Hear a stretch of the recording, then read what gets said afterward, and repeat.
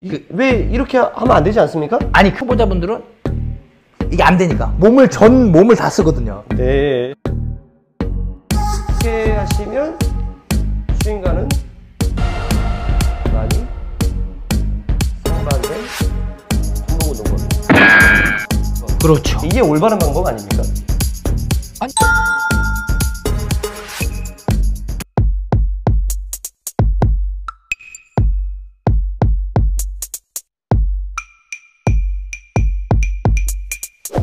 자, 안녕하십니까, 여러분. 더콕의 어, 이동선 코치입니다. 안녕하세요. 화려함과 즐거움을 드릴 진영 코치입니다. 자, 오늘도 저희가 지콕 민턴을 또 어, 진행을 하지 않습니까? 그렇죠. 오늘 알려주실 네. 교육. 아, 오늘 집에서 누구나 손쉽게 사용할 수 있는 도구를 갖고. 아, 또 오늘도 도구인가요? 네, 오늘도 아, 때문에. 도구를 되게 좋아하세요. 아, 그러니까요. 네네. 기대됩니다. 네, 한번 보여드릴까요? 네네. 소품 준비해놨는데 네. 어디 뭐 소주병 이거 왜 저래, 이거. 어, 자, 이거는 광고가 나가면 안 되기 때문에 네네. 제가 이렇게 해놨고요. 네, 네. 이거는 광고가 좀 나가는 것 같아요, 지금. 아 그래요? 아니, 일단 받자.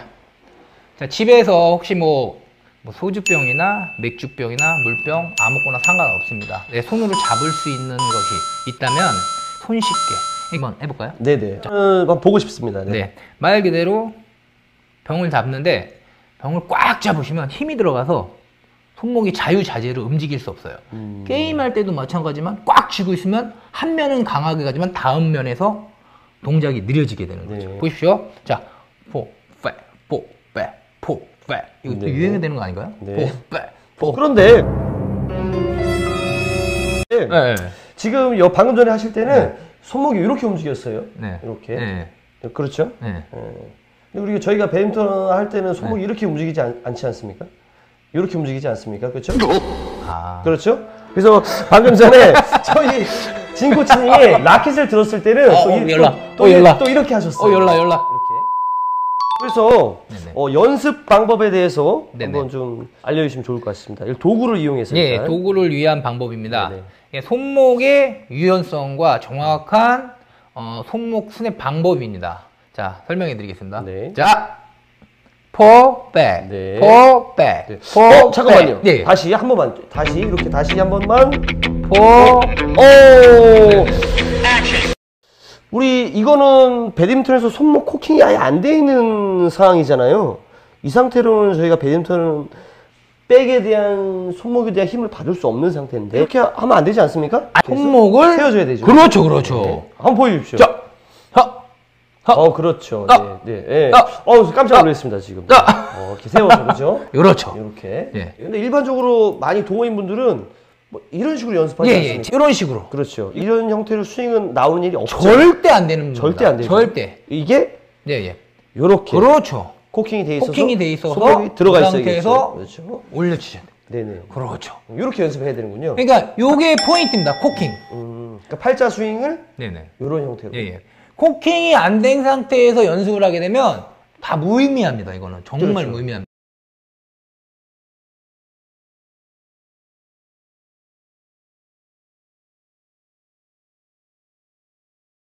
초등학교 때 네네네. 저, 선수 생활을 할 때 저도 이런 식으로 했던 것 같아요. 그렇죠, 그렇죠. 단순하게 그냥 손목을 풀어주고 손목에 대한 어떤 유연성 말 그대로. 그 정도는 가능할 것 같은데 맞아요, 맞아요. 스윙과 스윙의 형태로 이대로는 접목이 되는 일이 아니죠, 아니죠. 이제 그, 없겠죠. 렇게 하다 보면 힘을 쓰는 방법을 잊어버리게 되는 거예요. 아 그렇죠.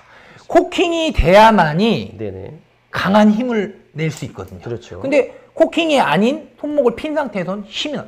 그러니까 대부분 동호인 분들이 백을 칠 때 이렇게 치세요. 그래서 어, 왜 멀리 안 나가지? 그 이유가 그렇죠 그렇죠. 해야죠. 항상 코킹, 요 코킹을 네네. 정확하게 아시고 연습을 하셔야 됩니다. 네네. 포핸드건 백핸드건 코킹이 되셔야 됩니다. 저도 교육하면서 굉장히 강조하는 부분입니다. 아, 네네. 예. 이 손목 코킹은 이 어떤 라켓을 운동에서는 필수적이죠. 그렇죠, 힘을 받기 그렇죠. 위해서 그렇죠.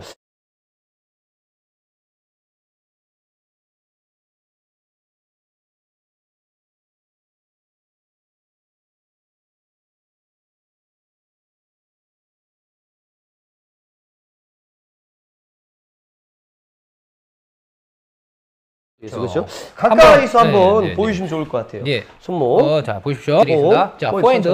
코킹이 돼 있고 자, 코킹이 돼 있죠. 그대로 올라가서 코킹된 상태로 그대로 네. 올라가죠. 그렇죠? 그대로 올라오고 네. 백에서도 코킹이 된 상태에서 그대로. 음, 그렇죠. 자, 코킹. 왜 오늘 또 손을 떠세요? 아, 제가 요즘 어제, 맨날 어제 이거 드신 거 아니에요? 안 먹었네요. 자, 코킹. 자, 그렇죠. 여기서 주의해야 될 점은 힘을 너무 꽉 주시면 저같이 이렇게 손을 떨게 돼요. 힘을 음. 줄 필요 없이 힘 빼시고 네네. 대신 손목만 네네. 살려갖고 네. 지금 그립은 바뀌지 않고 있어요. 예, 그러니까 손- 단순하게 않습니다. 손목의 움직임이죠. 예, 예, 말 네, 그대로 그립은 아닙니다. 이런 식으로. 손목. 자. 네네. 절대 손목을 피시면 안 됩니다. 네네. 강조하게 코킹이 안돼 있는 거죠. 그렇죠? 그렇죠, 그렇죠. 네네. 자, 방금 보여주신 이 방법이 배드민턴 스윙과 연결할 수 있는 올바른 팔자 스윙 아니겠습니까? 네, 예, 맞습니다. 아, 좋습니다. 네.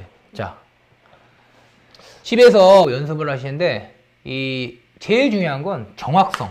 네. 정확하게 알고 연습을 하셔야지 효과적이지. 뭐 그냥 말 그대로 그냥 이렇게 하면 된다라는 생각을 하시면 절대 도움이 되지 않습니다.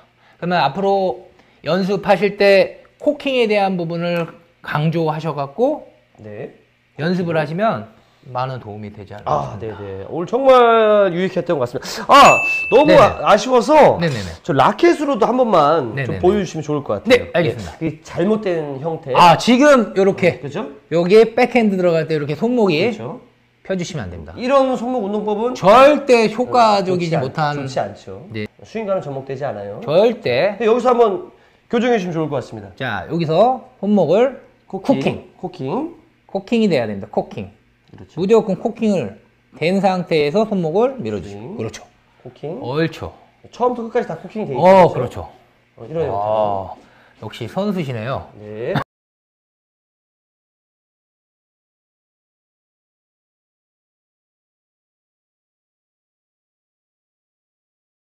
네. 저는 사실 교육하면서 이 코킹 동작을 굉장히 아. 강조를 많이 해서 시청하고 계신 분들이 손목에 대한 정확한 이제 그렇죠. 연습 방법을 이해하실 코킹. 겁니다.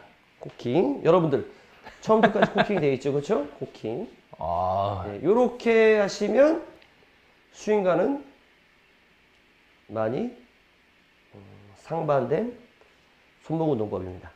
여러분들 오늘 진영근 코치님과 함께 이제 손목 손목 운동을 어떻게 해야 될지 어, 손목 예. 손목 뭐죠? 코 코킹. 그렇죠 손목 코킹 예. 손목 코킹을 유지한 상태로 그렇죠. 무슨 스윙? 팔자 스윙. 그렇죠 팔자 스윙. 여러분들 팔자 스윙 오늘 이 시간으로 잘못하시면 안 됩니다. 네. 자 오늘 교육 여러분들에게 조금이나마 어, 도움이 되셨기를 바라겠습니다. 감사합니다. 감사합니다.